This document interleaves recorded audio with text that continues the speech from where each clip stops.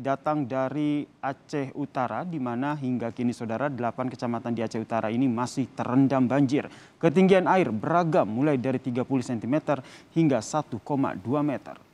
Kecamatan yang terendam banjir adalah Luksukon, Pirak Timu, kemudian Matangkuli, Tanah Luas, Samudra, Tanah Pasir, Siam Talira Aron, dan Kecamatan Lapang, Saudara. Meski demikian, daerah terdampak banjir sudah dapat diakses untuk membawa logistik dengan menggunakan kapal karet.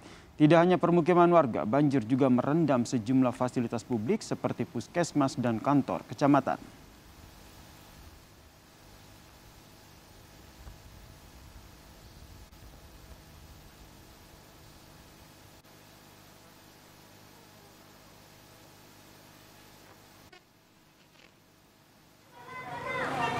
Salah satu kecamatan terdampak banjir paling parah adalah kecamatan Loksukon, saudara.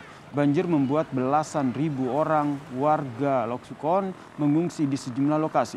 Saat ini mereka membutuhkan selimut, popok bayi, serta obat-obatan.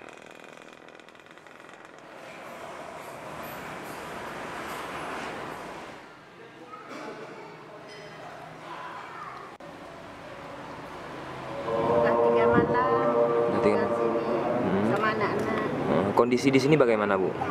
Kedinginan, Eh, nggak ada selimut. Di rumah air ketinggiannya berapa Bu? Eh, setinggal setinggian ketiak.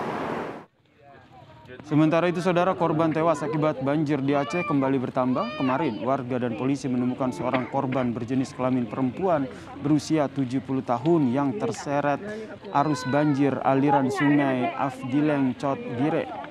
Hingga hari ini saudara tercatat empat orang tewas akibat banjir di Aceh Utara dan Aceh Timur.